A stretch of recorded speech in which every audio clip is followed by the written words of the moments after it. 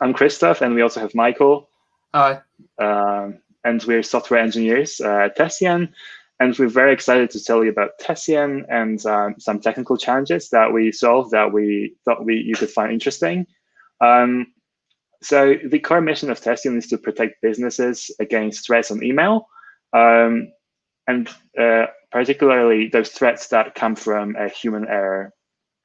Uh, so the principal belief of Tessian is that humans make mistakes, that you can come up with all sorts of policies and training uh, for your employees, but uh, sooner or later you are going to, someone is going to do something wrong. Um, and we should use technology to assist humans and protect them and the businesses. Um, so what kind of threats are we talking about? Um, a big one uh, is when someone accidentally sends an email to the wrong person. Um, so imagine you want to share some confidential documentation with your colleague, um, and but instead you you send it to a journalist who happens to have a very similar uh, name, and that's a real story, by the way, that happened to a company. So Tessian tries to detect that and warn the user before it's too late.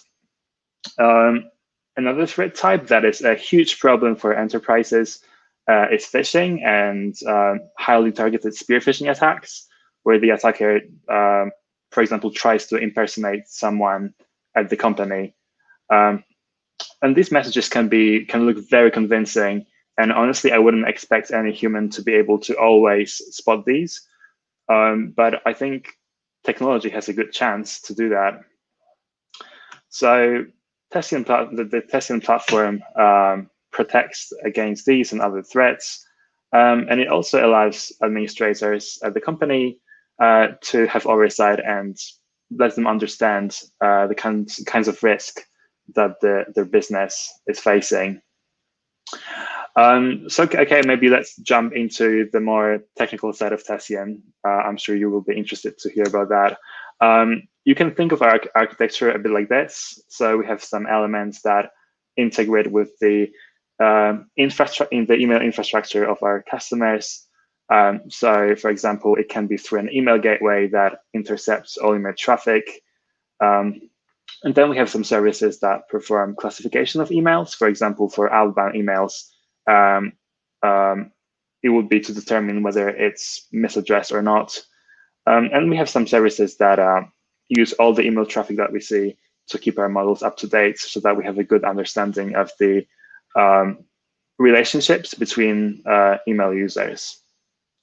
And most our backend services uh, are written in Python, um, and we host them on uh, Amazon Web Services. Okay, so let's look at the big box that says data store. Um, it actually does get a bit more complicated than that. So uh, this is actually multiple data stores that use different technologies. Um, and some big ones for us are Postgres and Amazon S3. And inside of them, inside each of them, um, the data is separated by tenant. So what do we mean by tenant? Tenants are our customers. Um, so it could be a big bank or a, a small law firm. Um, and we say that our systems are multi-tenanted because um, they're used by multiple tenants at the same time. So these services, they can handle requests for any tenant uh, equally well. Uh, they, they don't care. Uh, but it's important that the data stay separated. Um, we hold very sensitive customer data, so any mix-up could be really bad. Um, so doing things this way has many operational advantages. Uh, we can very easily onboard tenants um, and look at this example. Um, look at this example of a service. Uh, we only ran 14 copies of this service, but each of these copies is able to handle requests for any of the hundreds of customers that we have. Um, and this allows us to handle thousands of requests every minute. Um, but uh, multi-tenancy requires care. As I mentioned, we need to make sure that uh, the data ends up in the right place. And perhaps you can think, well, how hard can this be? Um, if say each tenant has their own folder. We just need to make sure that uh, we include the right folder name in all the code that needs to have access to it. And sure, we can say that we are going to try to remember to do this in all the right places, uh, but engineers are humans, and humans do make mistakes. Um, and I want to say this is not to put blame on anyone. Uh, at Tessian, we believe in uh, blameless culture. So when something goes wrong, we focus on looking for improvements to our processes. Uh, but um, yeah, bad stuff is going to happen. And um, it happens to the best of us. So this really isn't a multi-tenancy issue, but I think from the technical point of view, is probably very similar. Uh, so basically, Google um, earlier this year they had an issue when they stored private videos uh, in archives of the wrong users. Um, so, what can we do to reduce this risk? Well, we we we here we have some ideas. So um, we can create abstractions that make application code simpler and easier to reason about. Um, and we also should have multiple safety nets. So we like to talk about the rule of two mistakes. Um, so we never want to be a single bag away from a major data issue.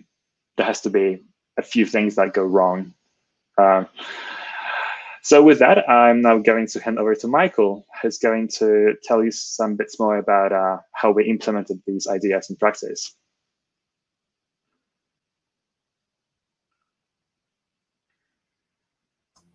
Cool, excellent. Thanks, Krzysztof. Uh, hopefully you can you can see my screen. So, um, so yeah, as Krzysztof mentioned in the um, in this kind of second half of the talk, I'm going to talk about um, Tessian's approach to, to solving some of these issues. And specifically, I want to uh, address this, um, this issue on the slide. Uh, that is, how can we keep the operational advantages of multi-tenancy that, uh, that Krzysztof mentioned, but reduce the risks to, uh, to an acceptable level?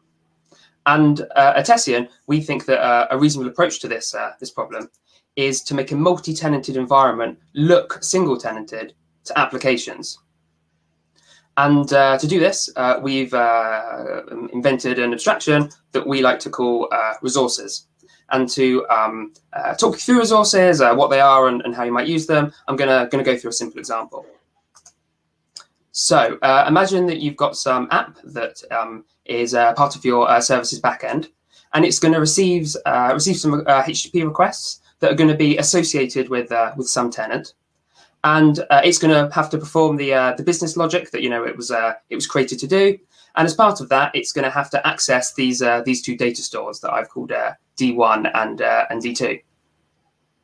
Now, this is obviously a very um, high level example. So to make it slightly more more specific or, or, realistic, we might add this in.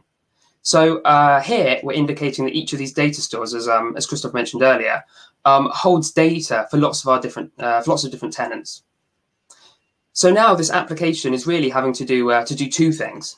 It's having to first uh, select the correct um, tenant's data from from the data stores, and then uh, also uh, operate on it to, to perform that custom business logic. And uh, ideally, we'd like to to separate out these these two concerns in the code. And that's that's exactly what resources are designed to do. So uh, you can see here that the business logic never talks directly to, uh, to any of the data stores. It goes through a resource.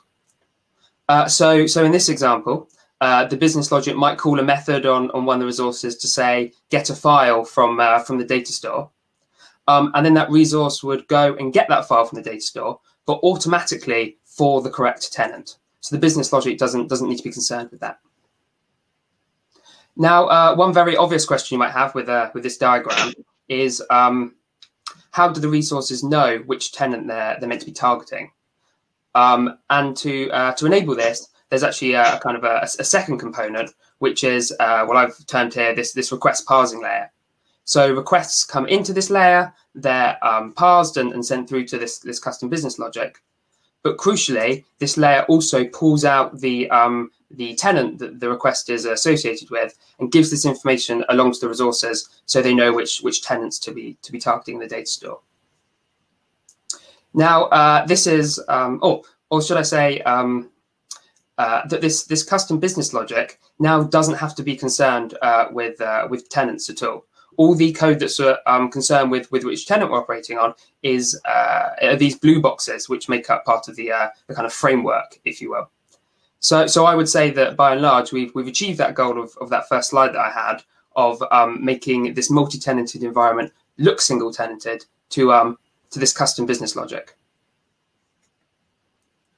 So uh, this uh, this is how it looks from kind of a, uh, a diagram point of view. But what about some uh, some actual code? So uh, this is this is what uh, implementing this might might look like in code. I don't want to go through any of the, the specific details here, but what I wanted to highlight is that um, I hope you'll agree that this code is is relatively simple. And that was important to us because um, having uh, a simpler uh, interface for this um, this framework means uh, less bugs when people use it, and also uh, increased adoption um, across the company. Both of which were uh, were important to us when when designing this uh, this resource implementation. So now I'd like to take a moment just to kind of do a, slightly more deep dive on how we might create one of these one of these resources, and specifically I want to look at um, S3. So uh, for anyone who isn't aware, S3 is an uh, AWS managed key value store where the uh, the keys are path-like, or at least it's uh, good enough to think of it like that for, for this presentation. Now, uh, one of the first things we need to ask ourselves when designing one of these resources is uh, how are we going to separate our tenant data in this store? And I think for S3, a very reasonable approach is to have the tenant ID as the first component of, of any key. So just to run through a quick example, uh, let's say we have our S3 resource and uh, we've got a method on it that will allow us to uh, ask for all keys that start with a certain prefix. And let's say we use this method to ask for all keys that start with the prefix foo. Uh, the resource will then um, uh, do some work and uh, make a request to, to, to, S3, um, asking for all keys that start with this prefix. S3 will then hopefully fulfill our request and respond to us. Let's say it responds with with these two keys, and then the resource will uh, process this response and um, parse, parse these two keys out. So essentially what's happening is we're prepending uh, tenant IDs to requests to S3, and we're stripping them from the responses. Now, this looks like a, a, reasonable solution that at first glance you think, yeah, this, this, this would work. But maybe there are some problems with it. So if we stick with our same um, setup, but now instead of asking for the prefix foo, we ask for a prefix that looks like this, and then we perform the same logic as before, we end up making a, request to S3 for this prefix, which in some cases, it is possible S3 might interpret like this, which is obviously really bad because we've we've now broken our, our tenant separation. And um, I don't think the the exact um, the exact problem is uh, is is important here. The point I wanted to to highlight was that even for this very simple resource, uh, doing this tenant separation isn't completely trivial. Now, to help us uh, avoid some of these problems, um, in many of our re resources we've built at Tessian, uh, we've uh, used another AWS service called STS. Uh, now, I'm not going to go into the full details of the service here, but essentially STS allows us to dynamically create credentials with, with a certain set of permissions. Um, so in this example, we would use credentials that only allow us to operate on keys that start with the correct tenant ID. That way, if, if this error occurred and S3 did interpret this uh, this um, uh, this request uh, as the key slash five slash foo, then S3 itself would reject the request because uh, we wouldn't have permissions. And this goes back to what Krzysztof was saying about having multiple safety nets. Both the resource itself and S3 provide protection against uh, against any issues. Now, uh, I'd just like to finish up by quickly mentioning some of the compromises the framework makes. Um, it's uh, not perfect, as uh, as nothing is, and I think there are a couple of uh, of, of, notable um, notable things. So, firstly, uh, we incur a little bit of extra latency from for STS to get these dynamic credentials. We have to um, make requests to, to Amazon, and that takes a non-zero amount of time. secondly, some storage technologies are hard to abstract in, into a resource. Uh, as kind of a rule of thumb, the more complicated the interface the uh, technology provides, the harder it will be to, to abstract in this way. And then uh, lastly, uh, it's less flexible than, a, than an ad hoc approach. Uh, as with any framework, um, when using it, you have to uh, align with the with the opinions of the framework, and that's um, that's certainly true here as well. So uh, with that, uh, I'd like to thank you very much uh, uh, for listening. Uh, also, if if, if any of that sounded interesting, we are hiring, and I believe there are links to our careers pages somewhere around here, or maybe a link could be sent. Thanks very much. Thank you.